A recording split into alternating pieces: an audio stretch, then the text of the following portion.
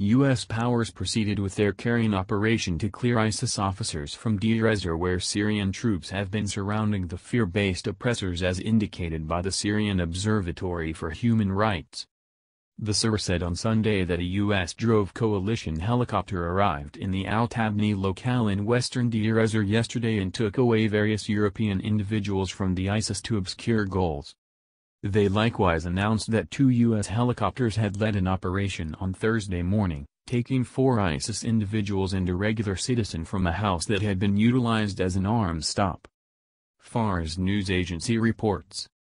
It indicated strengthening U.S. heliborne operations in Deir Ezzor region and said that Washington may be taking ceaselessly the operators at once entered in the ISIL structure or the fear-based oppressor gatherings officers have potentially approached the U.S. to clear them from the district.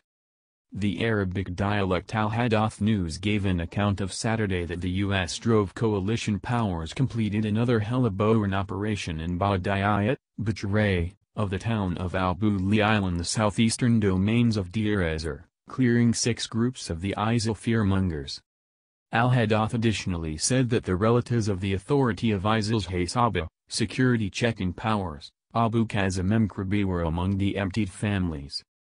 Al-Hadath called attention to that it was the U.S. power's second heliborne operation over the most recent 48 hours in Abu Lial Badiyat to take away fearmongers.